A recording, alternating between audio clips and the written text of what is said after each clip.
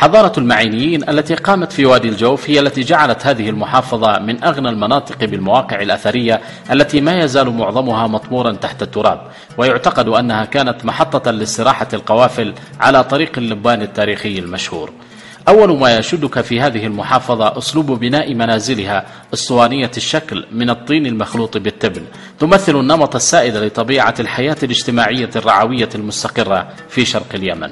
خرائب كثيرة لمدن كانت كبيرة وأنقاض مرافق قديمة من معابد وقصور ومنازل كلها خربة عدا جدران حجرية تظهر فوق سطح الأرض.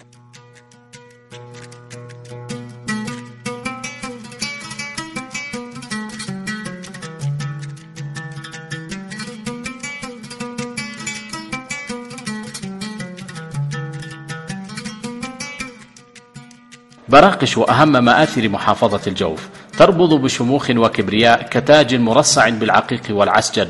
على رأس ربوة دائرية قطرها 700 متر. مصنوعة من طين. ومأخوذ لونها من لون ما حولها من رمال. لها هيبة الملوك وعظمة الفرسان. ومتانة الأرض التي غرست عليها. وروعة التاريخ الذي لم تكتب تفاصيله بعد.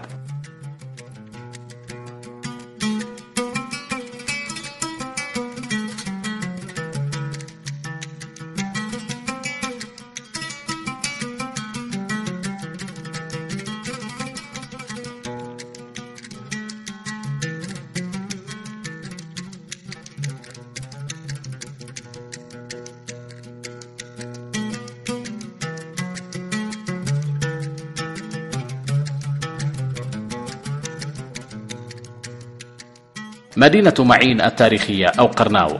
عاصمة الدولة المعينية تقع فوق تل ترابي يرتفع عن سطح الأرض 15 مترا وأشهر معالمها معبد بنات عد وهو أفضل المعابد القديمة حالا وأدقها زخرفة.